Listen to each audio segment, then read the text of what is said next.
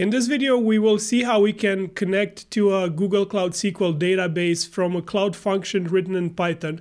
We are going to start by creating the Cloud SQL instance, connect to it from our local machine and enter some data, then uh, work on the function that can read this data. The source code and the commands we use will be linked in the video description below. And if you want to support the channel, please consider subscribing. It makes a big difference. Thank you. We will open the Google Cloud Console, so console.cloudgoogle.com,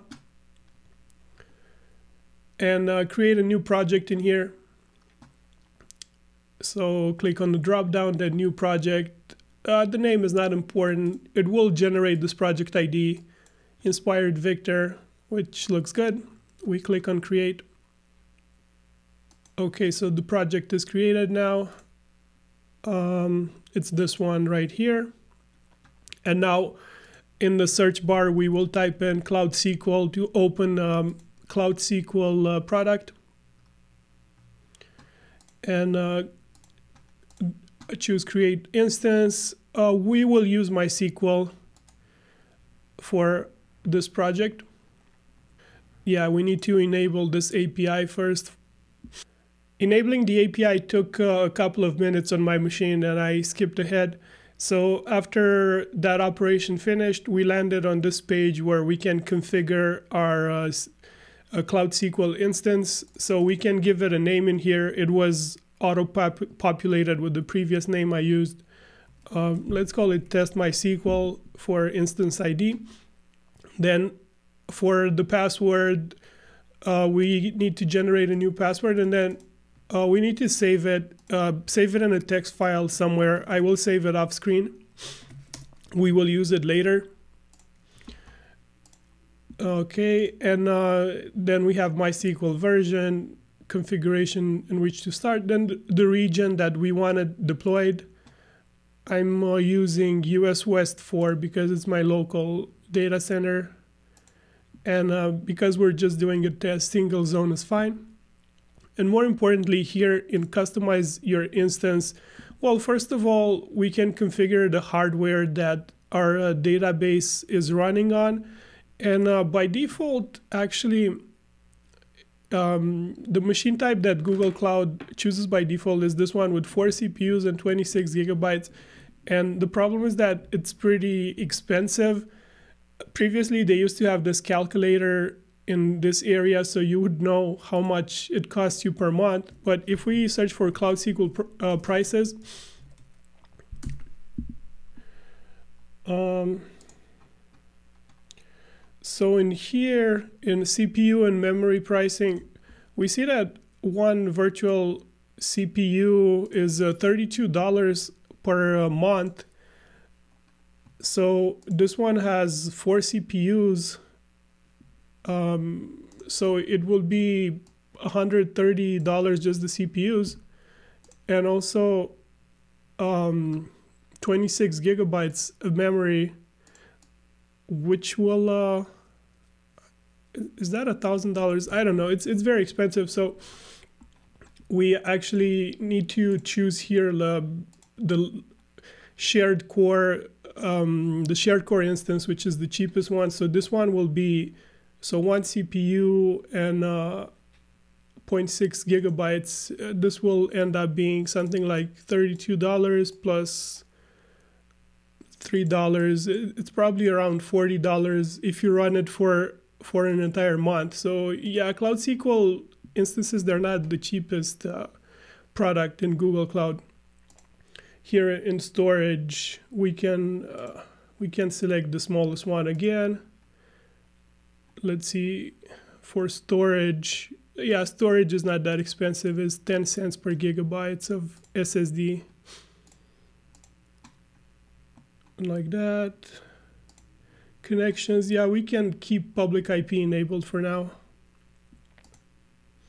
So yeah, they can do backups automatically and save them in uh, GCS and cloud storage. Uh, so yeah, they are they have a bunch of um, uh, DBA operations that come out of the box, which is pretty nice. And now uh, we can just everything looks good, so we can uh, actually let me make sure again what yeah, I did shared core. So now we can create the instance and it says instance is being created. And this operation actually will um, will take quite a quite a while. So if we look here, it says instance is being updated. In some cases, it took like 10 or 20 minutes to initialize this. So just uh, hang tight, uh, make yourself a cup of coffee, and uh, we'll, uh, we'll, I'll be back when the operation finishes. Now that the Cloud SQL instance is created, we can see this uh, green check mark saying runnable in here. We will continue by creating a database on this instance. So we go to databases. And in here, we uh, do create database. Let's call this uh, database products. in here. And uh, next we will uh, connect to this database uh, from our uh, local machine. And uh, for this, we will use uh, Cloud SQL proxy tool. So we search for Cloud SQL proxy and we find this page about Cloud SQL proxy admin. So what this one does is it creates a tunnel from our machine to uh, Cloud SQL and Google Cloud. And this tunnel can be either through, uh, through a port on our local host or through uh, a Unix socket. And we will use the Unix socket method. So in, in here, if we scroll down to download and install the Cloud SQL auth proxy, we have this command that we need to run in our terminal. So I open this terminal window in a directory that is empty. So we just copy this one from here. Make sure you select your uh, operating system. So I'm on Mac 64-bit. And we see the file and we need to give it executive uh, permissions like that. So now we have this tool that we can run Cloud SQL proxy. But um, yeah, we, we need to provide the instance that we are tunneling into and then the method that we are tunneling with. So we need to create a directory in here called Cloud SQL. It can be any name, but it is good if we if we name it Cloud SQL uh, because the the it will be easier to adapt the code from localhost to cloud function environment. So now we go to, um, we, we select our uh, connection name from, from the instance description. So we copy this uh, instance name in here. So now we run the tool we just we just downloaded Cloud SQL proxy. The flags are instances equal this um, connection name we just copied. And then if we specify dash directory and then the new directory we just uh, we just created, this will create a Unix socket. If we open a new terminal, so I'm going to navigate to the same directory. In here, and if we look inside the Cloud SQL directory we just created, we see that there is a file uh, with the the same name as our connection. And um, this looks like a normal file, but it's actually the socket that we can use to connect to the database using the MySQL client. So we're going to do that right now. Uh, we run the MySQL client with username root.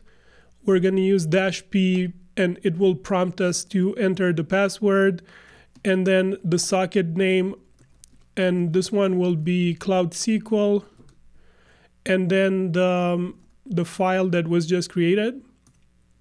So now it prompts us to enter our password, and uh, this is the password that we saved from when we created the instance in Google Cloud. So I pasted it from off screen in here. And we see already that Cloud SQL proxy identified a new connection and uh, now we have the SQL prompt on the right terminal. And if we do show databases, we see that we have our products database. and we can connect to it, connect to product. It prompts us for the password again, so I, I will enter it.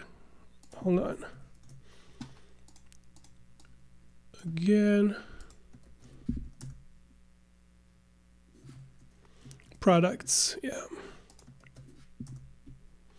All right, so third time lucky. And if we do a show tables, we see that we don't have any tables right now. Now we will uh, create a table and introduce some rows in uh, this database. So uh, I have this uh, Visual Studio Code instance op open in our uh, current directory. We can see the Cloud SQL proxy in here. So I'm going to create a new file called init.sql and um, just to write out the commands that we're going to use. So we're going to do a create table. Let's say we will make this table for produce. And there will be two columns, product name of um, 255 characters, and the price, which is a decimal of uh, six, six total digits and two after the decimal point. Semicolon and uh, let's try this command see if uh, it creates the table.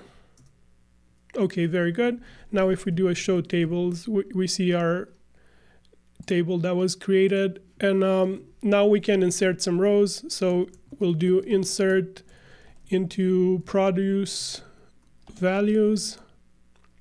So we'll do multiple rows. Let's say apple 1.85 uh, price. Then avocado, one dollar fifteen. Let's do celery. Uh, 283 let's say carrots 80 cents and banana 60 cent. Banana 60 cents. So we add semicolon and let's uh, run this um, command in the SQL client. So yeah, we see that it was successful. And if we do a select star from uh, produce, we will see the lines we just entered. Now we can start working on a Python code that can connect to the database. There are multiple uh, Python packages that you can use for connecting to databases. SQLAlchemy is a very good one, very powerful ORM. But for this video, I would like to use a more basic MySQL client, and that is uh, Python MySQL. So if we search for py MySQL, uh, we will see this link from Python package index for this package and it tells us how to install it with pip and also a quick start example that we will uh, adapt. So we, we will open our Visual Studio Code instance. And uh, first of all, we will create a requirements file, requirements txt. And uh, in here, we just have this uh, new package that we are using py_mysql. We save it and uh, we need to, we will create a new virtual environment. So we'll do a new terminal in here and we will do Python 3. No, actually it's, uh, yeah, Py Python 3 module venv and we create a new environment called my environment, my underscore environment. And now we run um, from my environment binary pip. We install the requirements file with uh, install dash r and then uh, requirements.txt so now we can write the main python file uh, main.py we'll add the default check if name equals equals main and uh, we're gonna start from the uh, example uh, of, of the library and uh, we're gonna adapt it. So this one, first we create the connection. We need to indent it one more level and we need to import the library PyMySQL. So this method is, is using a local host and port to connect to the database, but in our case, we need to use Unix socket. And uh, we will provide the relative path of um, this socket right here. So we, we right click on it and uh, we copy the relative path. Like that, our user is root, the password is uh, I'm, I'm pasting it from off screen is the password we generated when we create the Cloud SQL instance. The database is uh, products. And uh, yeah, we can use the dictionary cursor. So in here, there are two examples. One is for inserting rows in, in the database, and the second one is for selecting rows. And uh, we will do this uh, second one from here. So we're going to add the with connection part. So with connection, and then with the connection cursor as cursor, and uh, we will change the query, the SQL query. In here, we'll simply going to do select star from uh, produce like that. I think we need semicolon in there and uh, we will do fetch all instead of fetch one and print result. Let's see what problem is here. Oh yeah, we, we don't we are not indented correctly. It needs one uh, one more um, level of indentation. And uh, now we can try it out. Let's make sure uh, in here in the Python interpreter that it, it is using the virtual environment myenv and it does. If it's not, you need to click on it and select the My Environment. So now if we run this file, we will see that uh, it actually printed the, the rows in our database. So we have product name. And then for um, price, it returns these objects from the library. They are not uh, float numbers, but this wrapper decimal and uh, we need to convert out of it into a normal number. So in here, we are going to do um, a map on this uh, results. So it'll be, let's say row for row in result. Okay, and now instead of row, we will create a new dictionary. So name will be row of uh, product name and uh, the second uh, entry in our dictionary will be price. And we will convert um, row of price. We will convert it to float.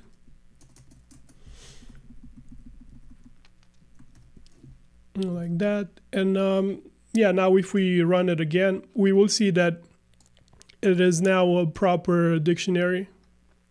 The MySQL library also allows for um, parameters inside queries. So let's say we have a threshold for the maximum price of the products we want to return. Let's say 1.5.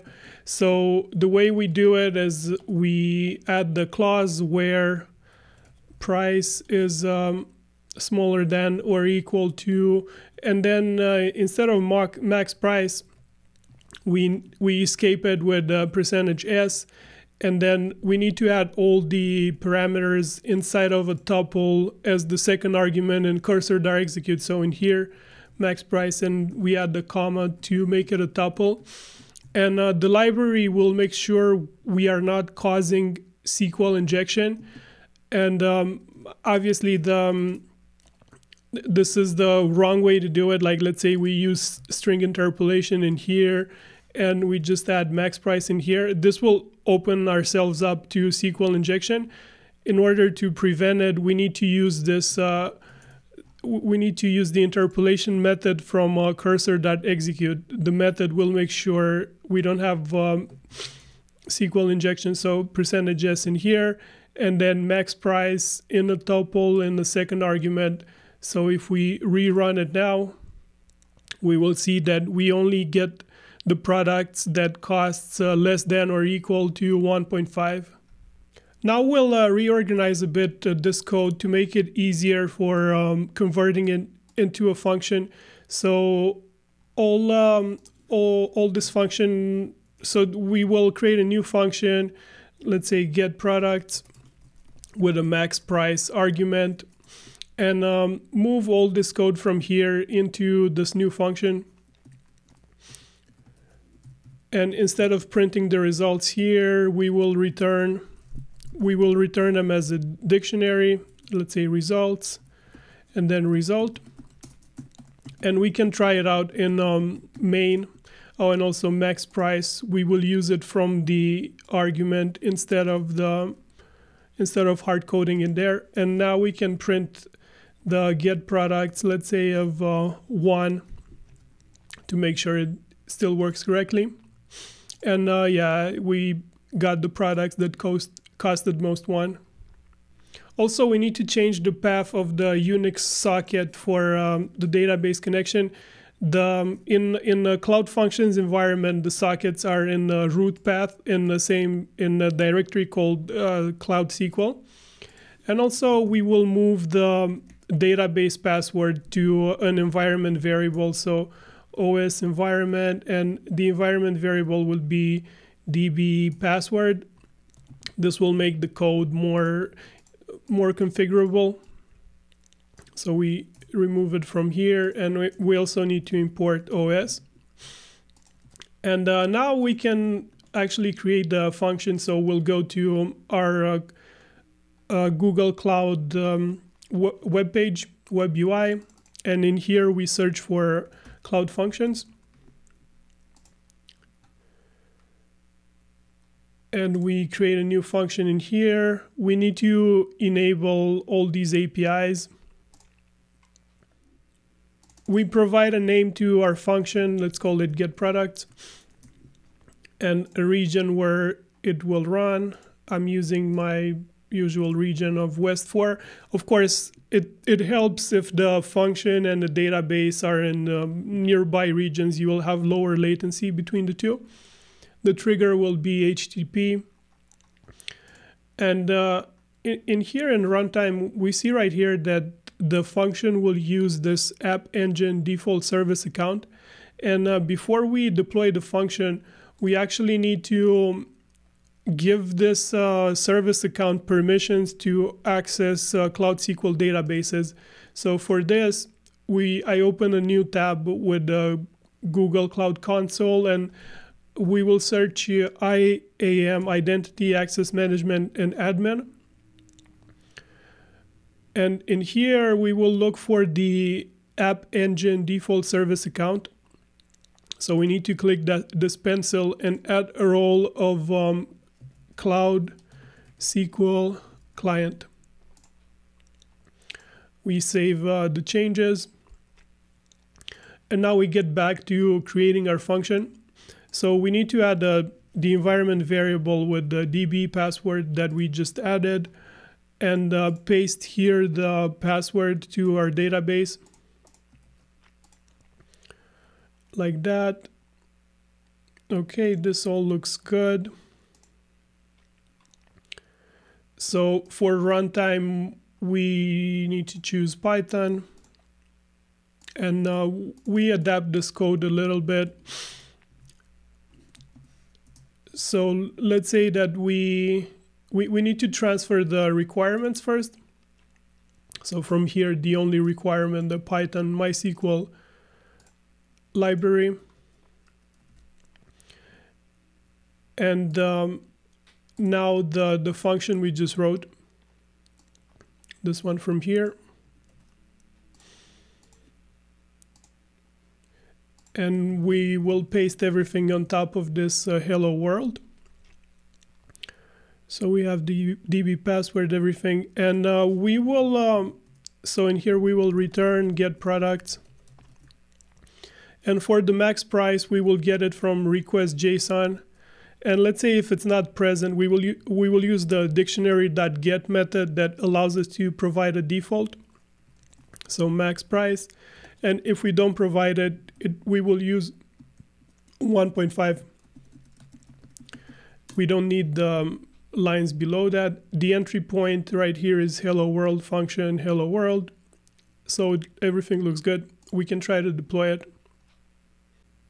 When the status of our cloud function is active and we see this green check mark, we are ready to test it. So if we go to the testing tab in here and we click on test the function, we will see that we get this uh, HTTP 500 internal server error. And if we go to logs, we can see exactly what is causing this error. So in here, we will see a bunch of error logs. And this one says uh, Cloud SQL connection failed. Please see this page to make sure we follow all the steps. And um, actually, there's a better error right here. It says Cloud SQL admin API has not been used in this project before or it is disabled. Enable it by visiting this page. So we can visit this page and, and then retry. So in here, I'll, um, I'll open a new tab.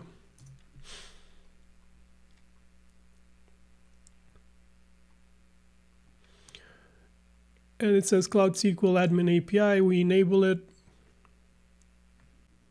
We need to create credentials for using this API. So we'll click on create credentials. That is good um, application data, are, are, you planning to use? Uh, yes. Okay.